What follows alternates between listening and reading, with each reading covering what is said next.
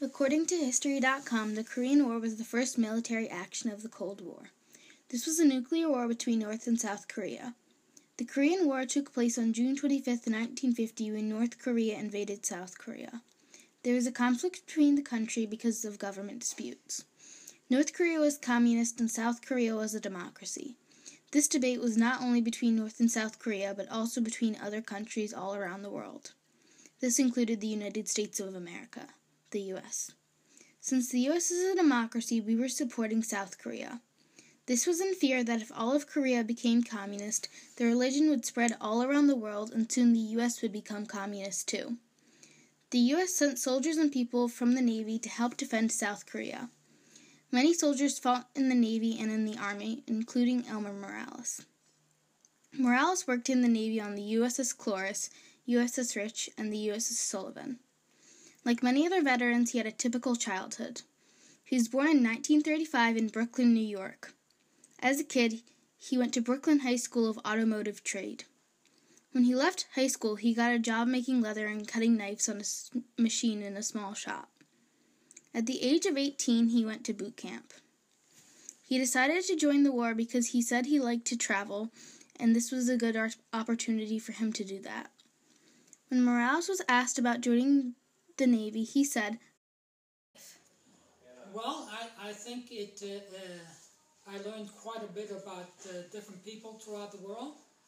I uh, think that it made me a better person, and uh, I think that I learned uh, quite a bit from my experiences in traveling throughout the world. In the world.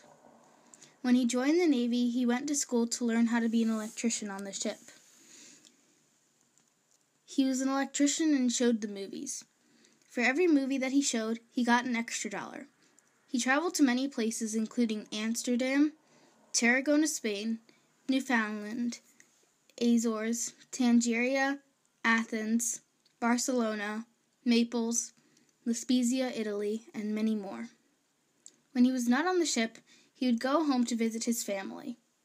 After serving in the Navy for four years in, of active service, making new friends, and traveling to many new places, he left the war in 1954.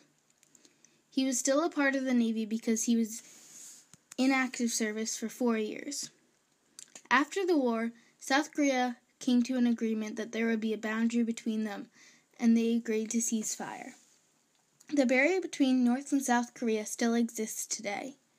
Since Morales was in service for eight years, he is considered a veteran. Although all throughout his brave journey, he never got badly injured. He won a few awards, including a Sea Award. When he was on one of the ships, the captain stopped the ship in the deepest part of the sea, and the captain offered that whoever wanted to swim in the deepest part of part would receive a Sea Award. Morales' life was similar to many other veterans all around the world. With six siblings, he went to school and had a regular job. He, would in- he was interested in travel, so he decided to join the Navy. He was a brave veteran who dedicated his time to serving in the Korean War. He made many new friends who he still has reunions with every year. Elmer Morales is now 80 years old and healthy.